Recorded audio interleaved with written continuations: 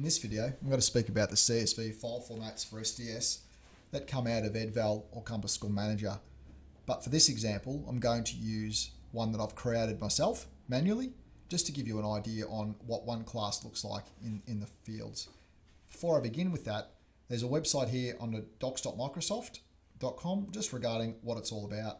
So as you can see here, there's six CSV files that we're going to be looking at. And then when you come down here, it's actually giving you uh, a bit of a spreadsheet on what's required and what's not required. Um, but it's totally up to you what you need to do. But you must have the required fields, the one that says yes, if you need to use SDS uh, in automation.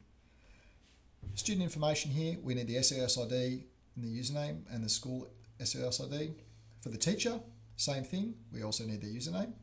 And if we're creating for the very first time, obviously, we can add the first and last name in which we would be. Same thing for the school. We only really need those two unless we need, want to add some more information in there.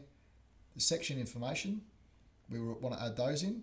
Um, like I said before, with, with our one, we've actually added in the section number ID, the SES ID term as well. And student enrollment files, you need to have all that information also the teacher roster. Now I'll go and show you what it looks like in a sample file. What I've got here is our school file. And as you can see in our school file, the SES ID is Lowanna and the name is Lowanna College. The next part of the file is the section file. And what we've got here is we've got all information about the class getting created. As you can see, the SES ID for the class is called 7eng.b. That's for our Year 7 English B group.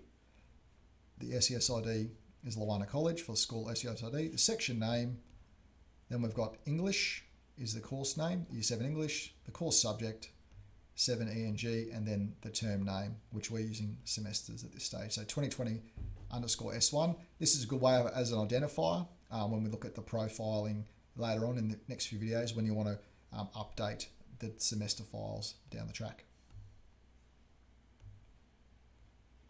The next one's the student file. This is very basic file. Student ID, school ID, first name, username, last name and username. Very simple. This is the big file here. So in your downloads, you would actually get um, all the subjects and all what students are attached to what subjects. So for today, I'm just adding two students to the Year 7 English B class. Okay, we add our teachers in. And then what we want to do now is we want to actually then add a teacher against a subject. As you can see here, 7eng.b has the staff member AHO attached to it. I hope that helps.